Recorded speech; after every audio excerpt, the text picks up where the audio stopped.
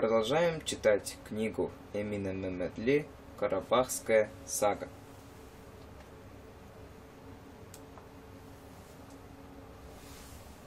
Начал он с воспоминаний детства, когда 20 лет назад Суворов, находясь в Астрахани, прислал письмо его отцу, в котором он от имени Екатерины II изложил следующее. Фельдмаршал предлагал, что, будь он по православию иметь желание с подданными своими выйти в Россию, всемилостивейше будет принят высокое всероссийского двора подданства. Смысл письма Суворова предельно ясен. Екатерина II, по сути, глава теократической империи, предлагала карабахским христианам переселиться в пределе России как православным, что было бы совершенно естественным в глазах просвещенной Европы. Но к этому времени вопрос об их монофизитской христианской принадлежности как паствы гонзарского католикоса в России был хорошо известен из послания императрицы Ичмиадинского католикоса Симеона. Видимо, такие мелочи не смущали отца Фридона, который обещал всеохотно выйти в Россию, когда Екатерина пришлет туда победоносное войско российское, вторая попытка переселения в Россию под видом воссоединения православных была предпринята уже после гибели отца Фридона. Завершает прошение надежда на то, что благовеления Павла I могли послужить прочим и пример высокомонарших ваших милостей. Если бы выше переведенные прошения были напрямую связаны только с личными меркантильными интересами обоих подписантов, то письмо, направленное Павлу I уже от имени Триумфириата, можно квалифицировать как некий перспективный план военной кампании России на закавказском направлении. В нем хронологически перечислены все самые значимые в русской истории лица, которые якобы широко пользовались в кавычках бескорыстными услугами предков, составителей письма. Петр I, светлейший князь Потемкин, Таврический граф Потемкин, Екатерина II и граф Зубов показательно, что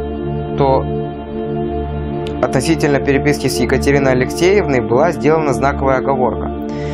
Дескать, имели дерзновение писать и для вязшего в том успеха по делам, коих не можно было верить, бумаги многократно отправляли от себя нарочных к пребывающему здесь преосвященному нашему архиепископу Иосипу князю Аргутинскому Долгорукову доносить по онным тем генералам российским, коим знать об них следовало. Понятно, что донесения в устах архиепископа, который докладывал о них высшим сановникам империи, носили крайне тенденционный характер. Заканчивая преамбулу пожеланиями, чтобы Павел, завершив дела, которые задумал Петр Великий, тем самым обрел бесспорные права на логичный титул, авторы павостно обратились. Великий император, избавь беспомощных, доставь спасение погибающим за приверженность к российскому престолу, оправдай надежду уповающих на всеавгустейшее имя Твое, и не отринь наши моления. Далее перечислены четыре варианта дальнейшего развития событий в Закавказье, которые были удовлетворены с их точки зрения. Первое. Предлагалось принять под высокое свое покровительство и власть область Карабахскую. Второе. Ежели то ваше императорское величество по каким-то не есть причинам неблагоугодно будет это все неуниженно. Просим удостоить верить нам победоносного войска вашего 12 тысяч с подкреплением к нему воинским снарядом, дабы при помощи Анага могли мы идти в пометую область нашу и вывести оставшихся там христиан и магометан, верных нам подданных. Переселение подданных подписантов должно было происходить под охраной русских солдат местечка Екатерининграда на территорию, которую Павел I должен был им выделить. Земли должно было быть достаточно много, чтобы и другие армяне переселялись сюда и в кавычках умножались день ото дня под благополучную державу Ваше Императорское Величество. Могут вскоре составить новую, малую в России Армению. Интереснейший вариант. Третий.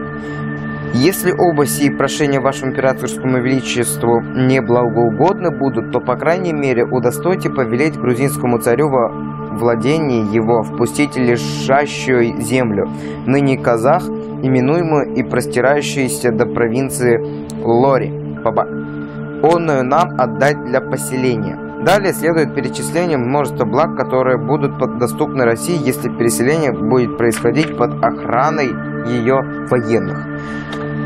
На выделенных переселенцам землях очень скоро будет достигнут такой высокий уровень развития, что деловые люди к торговле склонны могут распространять торговлю до самой даже Индии в пользу общую и империи вашего императорского величества. Надо полагать, что по замыслу подписантов деловые люди будут исключительно армянами, но выгода от этого будет развивать Российскую империю. Исключительно. Четвертое. Будь же по несчастной судьбе не нашей неблагоугодно, будет вашему императорскому величеству снизойти ни на который пункт вышеосозначенных прошений наших, и тем отымеется у нас вся надежда к избавлению от ненастного иго варваров, то упадаем к освященнейшим вашим императорского величества стопам, ожидаем судьбины, которая угодно будет вам, великому государю, решать участь нашу и пребываем в подобострастнейшем благоговении. Далее следуют подписи членов Триумфириата Мелика Джимшида, Мелика Фридона и Юзбаши Мадата. С их титулованием произошел форменный конфуз. Мелики позиционировали себя владельцами территории, им не принадлежавшими. Мелик Джимшид объявил себя владельцем Шуши, крепости, которая обустроил в 1752 годах. Панах Алихан, происходивший от дизакского Джаваншира из Аймака Сарыджаллы, еще дальше продвинулся в этом плане Мелик Фридон. Он объявил себя владетелем Ермидарским. Маломецки сведущему Кавказоведу известно, что Иермидер, Тотузики, Ах, Юнлю, Карабертюлю, Карагоинлу, Карапапахе являлись родоплеменными сообществами азербайджанцев. Как мог этнический армянин объявить себя владельцем азербайджанского родоплеменного союза? При известной доле наглости и богатого воображения очень просто – тем более, что стараниями армянских экспертов верховная власть России безоговорочно воспринимала придуманную ими мифологию за реальную историю. Мы уже воспринимали афоризм Кокто, который точно воспроизводит аналогичную ситуацию. История – это правда, которая становится мифом. Миф – это правда, которая становится историей. Мы надеемся, что любознательный российский читатель внимательно изучит переводимые нами документы и сделает самостоятельный вывод. Глава 7. Реанимация индийского проекта Петра I в новых геополитических условиях совпала по времени с падением царского дома Восточной Грузии. В первые два года своего царствования Павел I стремился несколько проориентировать акценты внешней политики России – в большей степени его интересовали европейские проблемы, связанные с формированием различных коалиций европейских монархов против Франции, где победила буржуазная революция. В этой ситуации закавказское направление представлялось императору несколько периферийным. Хотя он и поддерживал постоянные контакты как со старым царем Грузии Ираклием II, так и с новым Георгием XII, Ибрагим Халиханом, Карабахским, другими владетелями вплоть до мелкопоместных меликов. Последние виделись ему в известной степени пятой колонной, которую он мог использовать в случае крайней нужды. Этим в значительной мере определился тот двойной стандарт, который вскоре стал определяющим в приоритетах политики России в регионе. В начале своего царствования Павел I не только распорядился выплачивать пенсионы некоторым Меликом, которые особенно рьяно в меру возможностей вредили своему сюзерну хану Карабахскому, но и озаботился выделением мест для их очередного переселения. Мы подробно освещали все перипетии этих манипуляций. Внимательный читатель наверняка обратил внимание на то, что Павел I зна знал о ментальности Меликов присваивать чужую собственность и особо подчеркнул сугубо временный краткосрочный характер поселения на своих казенных землях. Понятно, что последний царь Грузии не мог не откликнуться на просьбу Павла I и тоже выделил места для временного, как он считал, поселения меликов, так и пострадавших из-за безмерной любви к России. В это время Павел I на южных рубежах империи был только один. Как считали в коллегии иностранных дел России, противник Фетхалишах, султан Османской империи Салим III, пытался нормализовать отношения с Павлом I, всячески угождая его желаниям. Персия же считала центральные и восточные части Закавказья сферой своих законных интересов, поэтому Фетхали Шах ориентировал своего юного наследника Аббаса Мирзо Каджара на будущее противостояние с Россией в борьбе за этот регион. Напомним, что по традиции Каджаров его наследники престола для получения управленческого опыта при жизни Шаха становились беглербекскими Азербайджана. Павел I надеялся, что азербайджанские ханства севернее Аракса, тяготившие к России в купе с дружественной Восточной Грузией, создадут буферную территорию, охраняющую южные рубежи Российской империи. Все это должно было позволить ему сосредоточить свое внимание на войне с революционной Францией.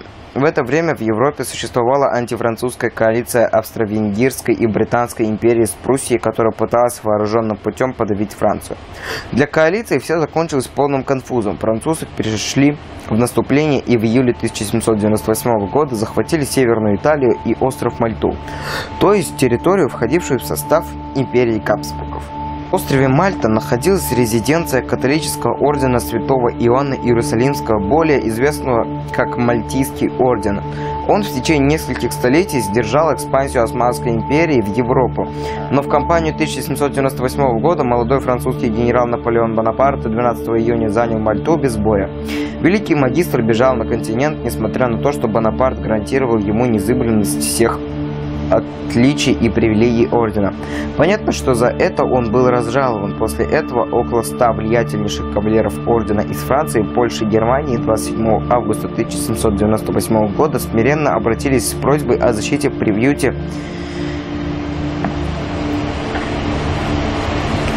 и помощи к императору Павлу I. Лишившись поддержки крупнейшей в то время католической державы Австро-Венгерской империи они могли рассчитывать только на помощь России, которая оставалась единственной силой, потенциально способной противостоять французской армии. Так, после благосклонного согласия Павла I в истории России произошла чудесная метаморфоза. Католический орден возглавил православный император и преобразовал его в некий орган, объединявший дворянство Европы.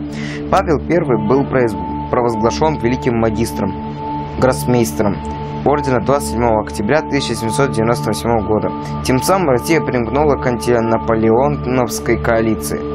Любознательные читатели могут узнать много интересного об этой удивительной странице истории России, изучив исследования последних лет. Интронизация Павла I как великого магистра Мальтийского ордена произошла 27 ноября 1798 года. В течение нескольких месяцев по его высочайшей воле происходило следующее. Под эгидой ордена создавалось объединение дворянства всей Европы. Второе. По сути, формировался в некотором смысле союз католического и православного мира для борьбы с безбожной революционной Францией. Как к этому процессу относились Святейший Синод Русской Православной Церкви и обер-прокурор? Ответ на этот вопрос требует очень глубоких исследований. Рассматривались возможное создание на острове Мальта надежное база военного флота для достижения геостратегического господства России на Средиземном море. Тем более, что в рядах императорского флота служил выдающийся адмирал Ушаков. Мы не будем подробно рассматривать все манифесты и указы Павла I, в которых регламентировался статус Мальтийского ордена в системе таких атрибутов верховной власти, как государственный герб и императорский титул.